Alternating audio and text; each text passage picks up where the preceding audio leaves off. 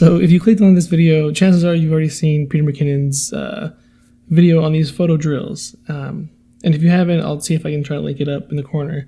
Uh, if not, it'll be linked in the description. If you haven't seen it, uh, I'll go over it real quick. Basically, he's doing these photo drills on one photo, editing this photo five different times in like five different styles. And I thought that was a great idea um, to really kind of flex those like creative creative muscles, I guess, and and just kind of get that rhythm, keep that rhythm, keep keep yourself fresh when it comes to editing your photos. Now, for me personally, again, I thought it was a great idea. I don't really get, I don't really edit too many photos that often, or as much as I would like to, um, mainly because I don't really get out and shoot that often as much as of, as of lately. So I hope to change that here in the future. But uh, what he ended up doing was just editing the same photo, just five different styles, and I thought that was a great idea. I have plenty of photos uh, from the past few years that I could mess around with, and yeah, I, it was something that I wanted to try and kind of make a um, kind of routinely thing, like at least once every week or so, or every couple weeks, just to kind of again just stay fresh, uh, try out new tools, and try out different different sliders, and really kind of uh, get to know the editing software that you're using. So, so with all that said, let's just kind of get right into the video.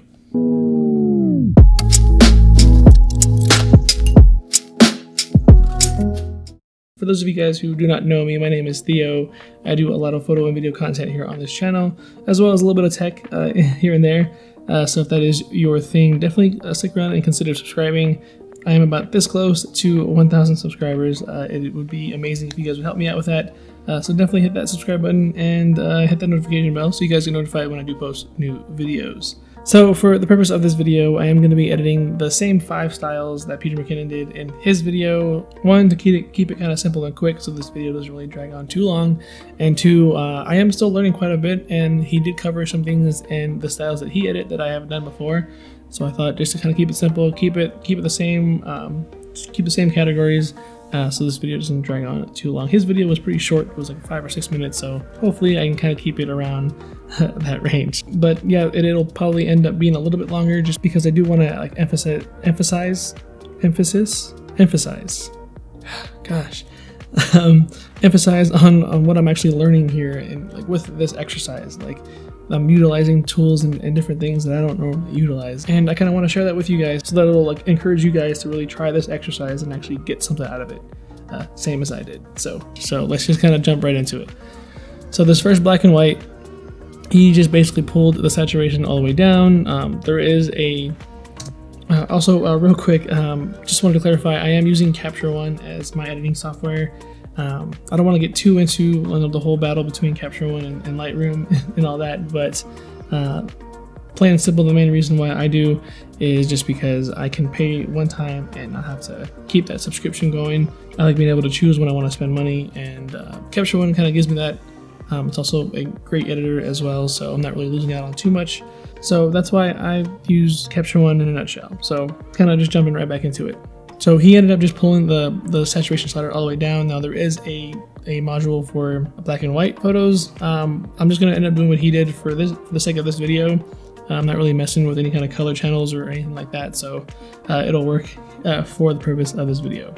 So I just was messing around with the exposure, trying to get that dialed in just right. Uh, pulled down the highlights, lifted the shadows a little bit, and brought those blacks right back down. Uh, gave it a little, little bump of a clarity just to kind of keep things uh, nice and sharp. I messed around with the dehaze slider. Um, I never knew it really had any effect on black and whites. That's something he did, so I thought I'd try it, give it a, give it a try, and, and see how it turned out. Uh, I wanted to add a little bit of grain, like just like he did in his photo. I really like the Silver Rich uh, on Capture One. Um, it's real nice, fine. Uh, gives a little bit of texture to the photo. I went up and added an adjustment layer to uh, do a radial mask. Made that nice and skinny and get that right around my whole body. And brought the exposure down uh, just a bit, just to just to kind of focus uh, the attention on me. And went back to the background layer and then added a little bit of a vignette and there you go. That's before and after.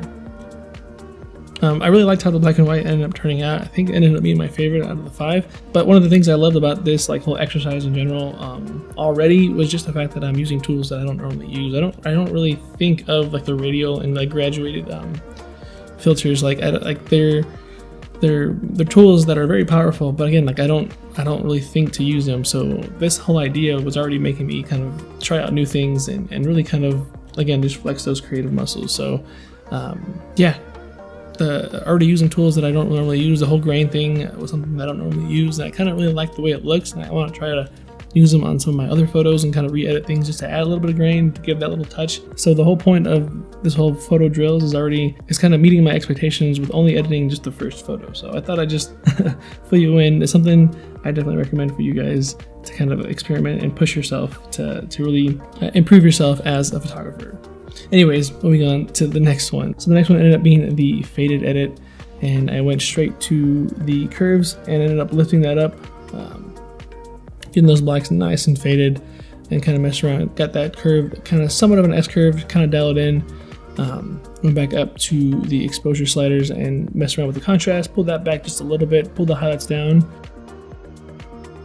Just, just a little bit, uh, pull the shadows up, again, just kind of balancing out with the blacks, bring those back down, uh, went over to the color editor and uh, went over to the orange tab. The orange and the uh, pillars were a little bit too bright for me, so I wanted to bring those down just a tad. Went over to the blue slider and pulled the saturation down just a little bit, just to kind of get that, keep that those, those colors kind of washed out. Went down, added a little bit of a vignette, again, just to kind of pull the focus away from the cement uh, that's in front of, in the foreground. And uh, yeah, here's your before and after.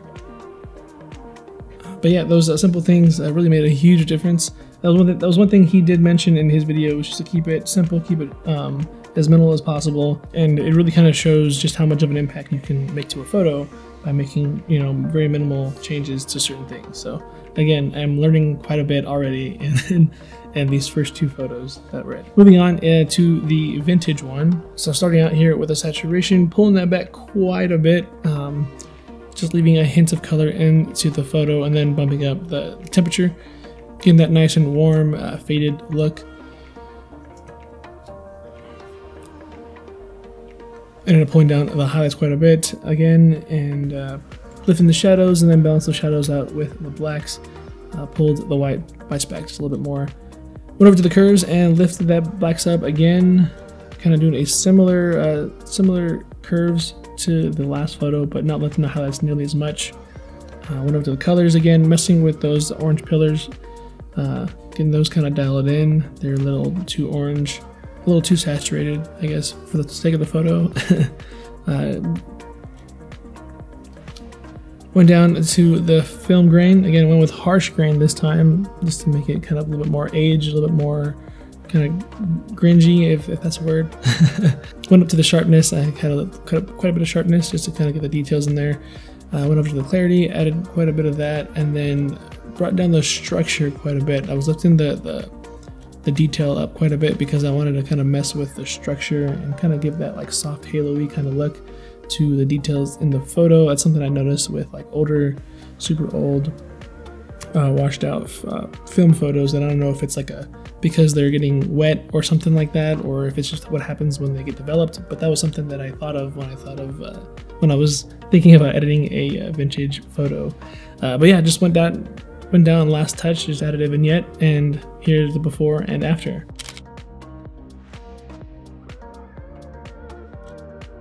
But again, yeah, when I think of a vintage photo, you'll see kind of like those halo-y kind of washed out edges uh, in all the details in, in, uh, in, the photos and that's kind of what I thought of when it came to to a vintage photo. Turned out great. Again, using things that I never really use when I normally edit my photos. So moving on. So uh, the next category is I'm calling just a contrasty photo. In Peter McKinnon's video, he said this is the kind of style that he would use uh, for editing his photos normally, and he has a very uh, a very kind of contrasty, kind of saturated look. Um, so I just kind of went with a normal basic edit. This one's a little more simple, um, but let's just kind of get into it. So right on the exposure just a tad. Uh, again, pulling the highlights down. The highlights in this photo in general were just super blown out, so on all of them, kind of pulling them down. Uh, lifting the shadows, uh, pulling, balancing them out with the blacks, bringing them back down. Again, bringing those whites down just a little bit more. Uh, went down to the curves and just did a basic S curve, uh, lifting the blacks just a tad on the bottom there, and then just kind of balancing out with a uh, slight S curve. Went down to the or uh, the color slider and the orange tab, um, getting those kind of those colors dialed in at like a more reddish orange, and then um, went over to the red slider again just to kind of the red, get the red side of it, just dial it in just right. Uh, went over to the blue tab. I like my blues kind of more the cy- cyanogen, cy, cy, teal, kind of whatever that color is. um, I like my blues on that side of the slider. Uh, but yeah, went down a little bit further and added a vignette, and uh, here's your before and after.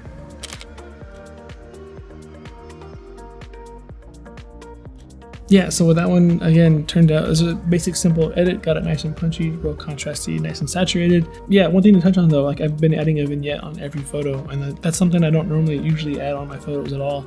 Um, but I didn't realize how like powerful I guess the tool is, or how much it can really draw your attention into the center of the photo. And in a photo like this that has a very bright foreground, it really does kind of uh, pull your attention away from the subject. So uh, just something that I've been using on all these photos that really made a big enough difference to to the photo, and that that's something again I don't normally use. So just loving this whole photo drill thing.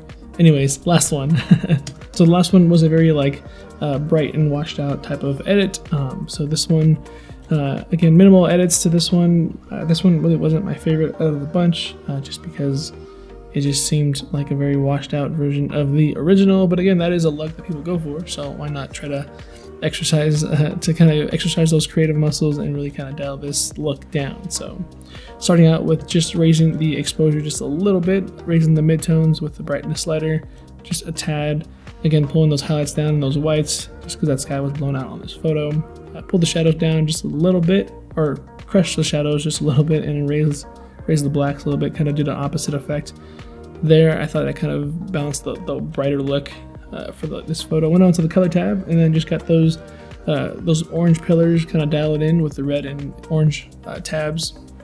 And then just brought those blues down to the side cyanogen. And then, uh, yeah, that about did it. Here's the last before and after.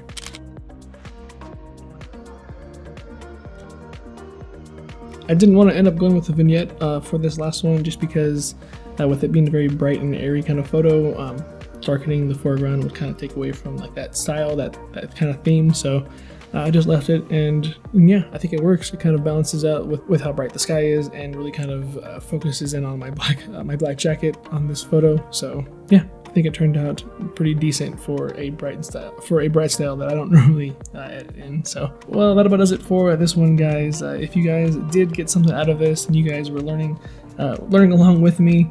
Um, I had a blast doing this, and I hope you guys enjoyed it just as much as I did. Definitely hit that like button, it is much appreciated. It would definitely help me out.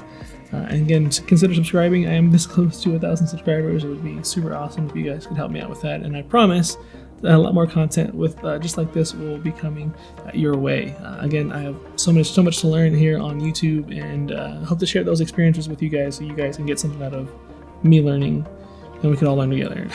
but yeah, I will see you guys in the next one. Later.